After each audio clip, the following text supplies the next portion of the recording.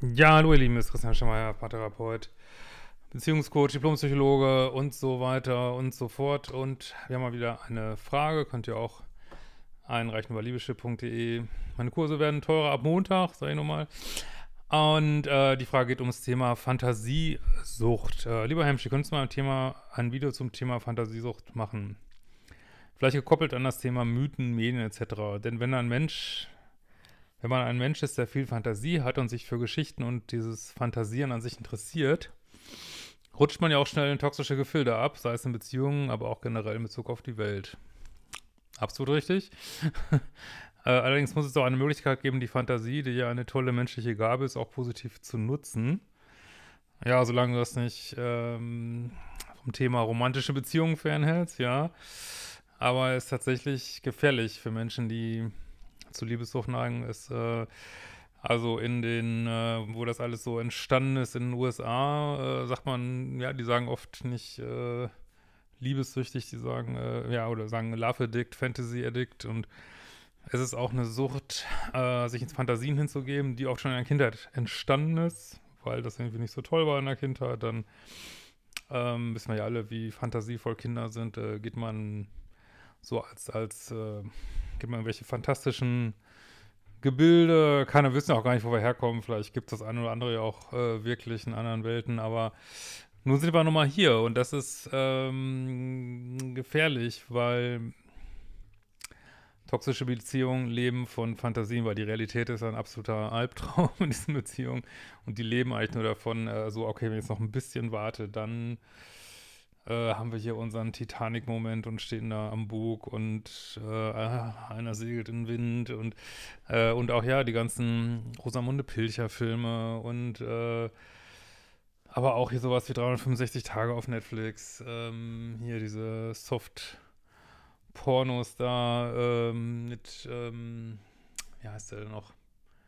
Ja, hier diese Sadomaso-Filme, ähm, ah, wie heißt das jetzt noch, den alle geguckt haben komme gerade nicht drauf wischen, was ich meine.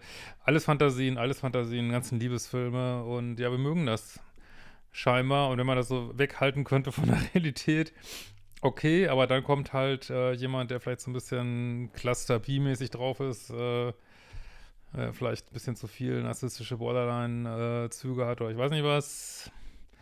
Und äh, der kommt dann mit, äh, ja, du bist die Frau meiner Träume, du bist die Tollste, ich will ein Kind mit dir, ich will ein Haus mit dir, du bist überhaupt die Geilste. Und ähm, und ja, und dann entstehen, ja, und äh, manche Menschen können ja auch fühlen, was man für Wünsche hat. Die werden dann präsentiert, werden gesagt, ja, hier kannst du, ich erfülle dir deine Wünsche. Und ähm, garniert mit viel Bettsport und so.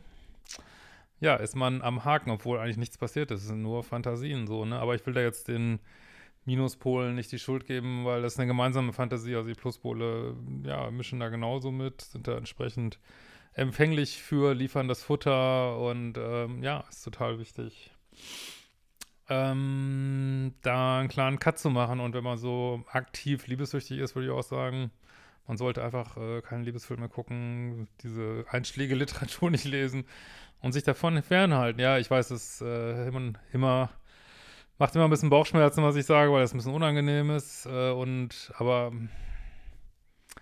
also man kann eigentlich, ich könnte jede Mail von einer toxischen Beziehung könnte ich nur aus einer Fantasiesicht analysieren, ne, weil die steckt in jeder drin. Ne? Ähm, ich weiß von mir selbst, dass ich zur Fantasiesucht neige, gerade wenn die Realität nicht so toll ist. Genau, aber ich bin ja auch ein Mensch, der vieles für möglich hält und es spannend findet, Geschichten zu hören und zu lesen, über Mythen zu hören. Ja, alles gut, wenn man das nicht mit Beziehungen verbindet. Mein Ex hat mich damals, glaube ich, so gefesselt, weil er am Anfang so viel über Gott und die Welt philosophiert hat. Ja, das ist ja, ich weiß, ich kenne jetzt seinen Ex nicht, aber es ist ja ein, jemand, wie gesagt, manchmal sind ja auch gerade diese äh, entsprechenden Persönlichkeiten, äh, die in die Richtung gehen, ja, die sind natürlich auch sehr charmant, können gut reden, ähm, wirken erstmal auf den ersten Blick äh, weltgewandt und ähm, ich kenne seinen Ex nicht, vielleicht ähm, hatte das ja auch Substanz. Ich habe das auch häufig erlebt, dass es einfach überhaupt keine Substanz hat. Es wird einfach gelabert und gelabert und mittlerweile habe ich das Gefühl, ich gucke da durch wie, wie mit so einem Röntgenblick, aber es macht irgendwie keinen Spaß. Man denkt so, es ist wieder so eine, so ein Schaumschläger, so eine Seifenblase. Macht einfach, macht eigentlich keinen Spaß, weil das macht manchmal so ein, äh, das, das beschäftigt mich auch ziemlich manchmal so einen negativen Blick so auf Menschen, dass man denkt, oh, ist wieder nur Ego und Gelaber und aber am Ende des Tages besser man sieht's irgendwie. ähm, auch wenn es dann irgendwie abfuckt, äh, als dass man so drauf reinfällt, ne? Aber wie gesagt, ich äh, gebe da, ich gebe auch, gebe da keinem die Schuld, weil es braucht auch eine entsprechende Anfälligkeit und so eine wirklich naive, das habe ich auch schon Videos drüber gemacht, über Naivität. Weiß jetzt nicht, wie das bei dir so ist, aber äh, so eine naive Gutgläubigkeit braucht es irgendwie auf der anderen Seite, ne? Ähm, ich finde es schade, dass ich äh, nicht mal ein romantisches Buch lesen kann. Ja, das, also in der Reha-Zeit sollte man das lassen, ja, wenn, man den Liebeschip umprogrammiert, ganz klar.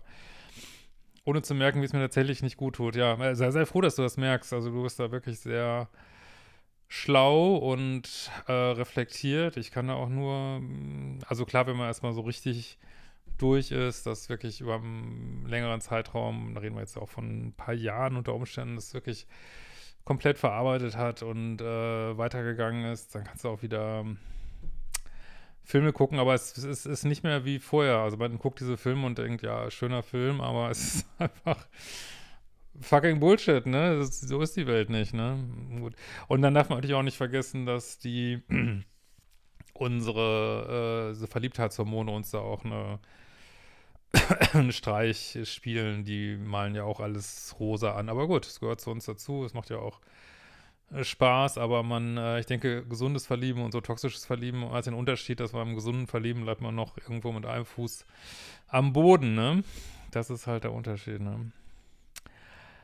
Äh, ich frage mich, inwieweit meine poetische, mystische und spirituell interessierte Seite nähren kann, meine fantasievolle, kreative Seite, die vielleicht auch nicht immer real ist, ohne meinen Liebeschiff will ich meinen Seelenweg zu gefährden. Ja, solange du das. Ja, ich verstehe den Punkt. Also, äh, vielleicht brauchen wir auch mal eine Phase, wo man ein bisschen mehr so sich so erdet in dieser körperlichen Realität, wie sie nun mal da ist.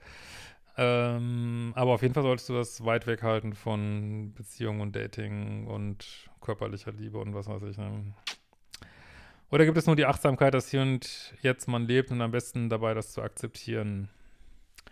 Was ist mit Musik, Film, Büchern etc.? Ich hoffe, du verstehst die Frage. Ja, absolut. Ich würde mich auch von, äh, ich meine, Popsongs sind zu 90 Prozent liebessüchtiger Scheiß, vielleicht sogar 95 Prozent. Ja, also ich kann nur raten, sich davon fernzuhalten. Man macht sich das so schwer, wenn man Liebeskummer hat und dann immer, ja, ich liebe dich so, ich vermisse dich so, du bist die Einzige, ich liebe dich so, du bist die Einzige, du bist die Einzige, du bist jetzt aber weg, oh, du bist aber weg, du bist aber weg, ich vermisse dich so. Ja, das scheint einem zwar äh, gut zu tun, aber ist nicht empowering, ne? das hält einen in dieser liebessüchtigen Fantasie. Also äh, wir haben das ja auch, so eine Playlist im, im Ex-Detox-Kurs, die ist aber ganz anders, die ist so so empowering Songs, ähm, ja, ja, äh, so, so die, die sich da auch bisschen, ja, die einfach sagen so, ich, hey, ich habe das jetzt überlebt und jetzt geht's weiter, ne? Aber so von dieser liebessüchtigen Pop-Scheiße sollte man sich auch fernhalten, genauso wie von ZDF-Film Sonntagabends 20.15 Uhr. Ist einfach nicht die Zeit, sich damit zu beschäftigen. Ne? Also man kann ähm, ruhig seichten Kram gucken, wenn der nicht so sich rund um Liebesbeziehungen dreht. Seichter Kram ist manchmal eine super Ablenkung. Ähm, aber ich würde jetzt nicht Sachen gucken, die so explizit romantischen äh, und oder äh, Bettsport-Content haben, da würde ich mich von fernhalten, weil das, äh, das kann man nicht gut ab, wenn man noch so aktiv liebessüchtig ist. Ne? Das erhöht die Rückfallgefahr und ähm, ja, ich weiß, keine schöne Antwort vielleicht, aber sollte man sich von fernhalten. Wir sehen uns bald wieder.